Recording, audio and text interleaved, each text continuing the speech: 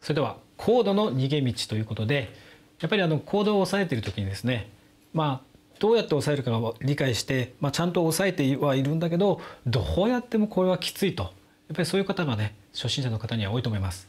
まだやっぱりその手の柔軟がうまく追いついてなかったりとかするとそういうことがありますのでそういう場合には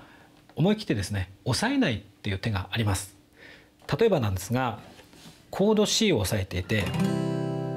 次のコードがコード G だと。そうするとこのコード G の小指が意外と厳しいんですね。ですのでその場合にはちょっとまあサウンドは変わりますが C を押さえてこの中指と薬指だけを上に移動する。もう小指は押さえないっていうふうにした方がこの移動のバランスが良くなってきます。逆にこの無理にでもこう小指を押さえようとするとですねこの G のこの押さえ方がだんだんだんだん不安定になりますのでこの中指と薬指だけをこの移動する練習をして最後にだいぶ指が柔らかくなってきたら小指を付け足すっていうふうにしてみるといいと思います。まあ、こういう感じでいろんなコードを、えー、どうしても苦手なところがあったりした場合には一回それを外してしまって他の指だけで何とか押さえてみるとか指の数を少しずつ減らしていくっていう考え方がいいと思います。その他にもバレーコードこれもね非常に押さえにくいコードです。コード F なかなか大変なんですがこれもですねどうしても厳しいなっていう場合にはもう全部押さえずにもうバレー自体を諦めてしまうという感じでこういうふうに押さえます。親指で6弦そして薬指中指人差し指ですね。これあの本誌の方にも書いてありますがこういうふうに押さえた方がコード F が楽だったりします。例えば C から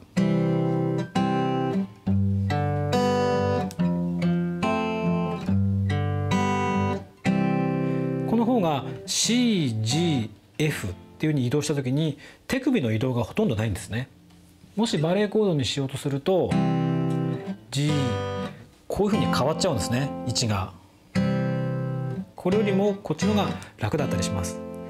ですのでこれはまあ逃げ道というよりは実際の演奏するライブとかで演奏するミュージシャンは意外とこういうふうにコードを省略している場合もありますので是非こういうのもね取り入れてほしいと思います。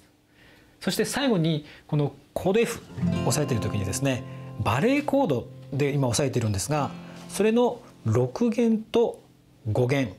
のみですね。この人差し指と薬指だけの2本。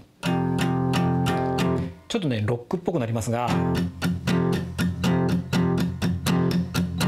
これがいわゆるパワーコードという押さえ方です。ですのでどうしてもこのバレーコードがきついなっていう場合にはこの6弦と5弦の2本だけ弾いてみるのもいいでしょう。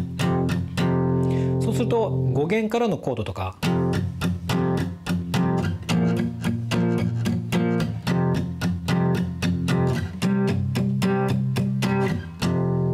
ういうふうに2本だけを鳴らすっていうパワーコードのスタイルも非常に楽です。ですので少しね手が慣れるまでは、えー、こういう逃げ道をいろいろ考えていくのもいいかと思います。